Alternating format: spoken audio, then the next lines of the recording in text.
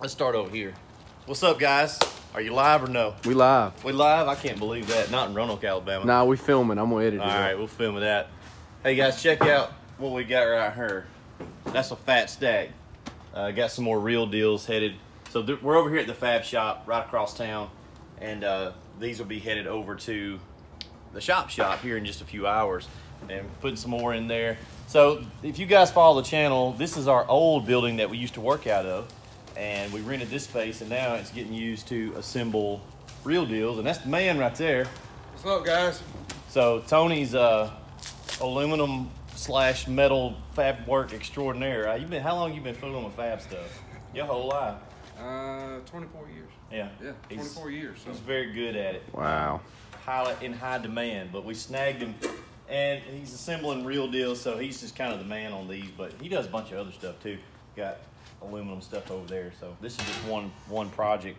Um, what do you think about them? You how many of these have you put together now at this oh, point? Man. Probably a little over 200 at this point, just Yeah. in the last couple months. So, uh, keep going. Production keeps coming in and keep getting them out. So- work all hours of the night and day. Hey. What we got to do to make it work? That's I'll right. show you guys something. We don't normally have one took apart so that you can see it, uh, but this is the inner manifold. It's all stainless steel.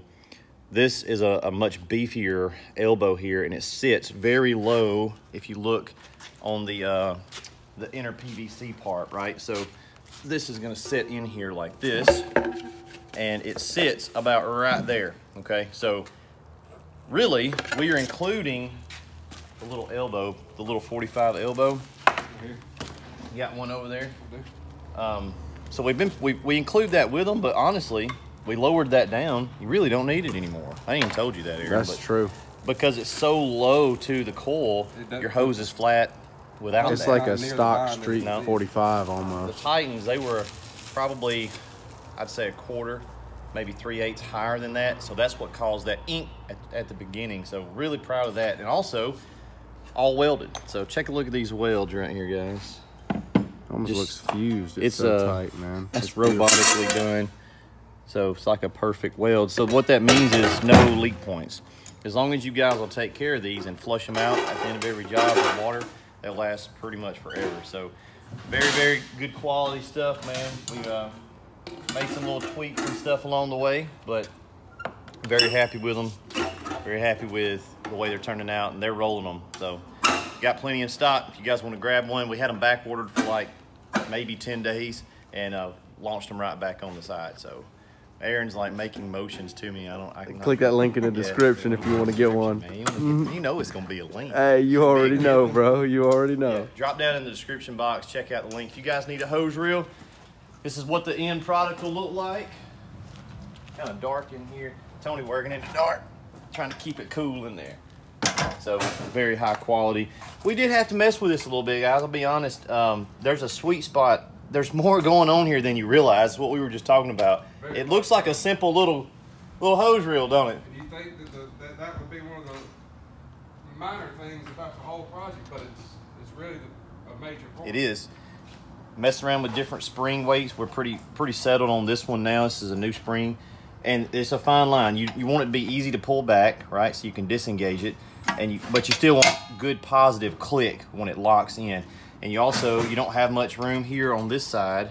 Um, it can't stick in too much or it's going to hit the hose in here. But if, if it doesn't stick in enough, it's not getting good engagement. So it's uh, it's kind of a fine line there that you're walking, but very clean. They're they're nice. Greasable bearings, stainless steel. Everything's either aluminum or stainless. Very cool. Aluminum, stainless pillow blocks. Right, greasable, stainless innards, aluminum, I mean, Chemical second proof. to none, bro. That's the best. chemical proof. I'm gonna say it. I'm gonna say it. I'm gonna say the best real deal on the market. Best best hose reel on the market. Let me see. What do you think? Best hose reel on the market, baby. What I mean, what else you need? That's the real deal hose reel. Yep. So um, eventually, we're gonna do an 18 inch version, um, real big deal, and it'll have a one inch inner manifold. So we'll get that question. A lot. We're gonna put Ron Burgundy on the ad. yeah, we'll put Ron on there. kind of a big deal. it's kind of a big deal. All right, guys, that's it. Real deals. Wanted to bring you guys over here and let you see where the magic happens and get put together. So, tons of PVC in stock for the inner core. And uh, yep, how many of these you roll out a week, man?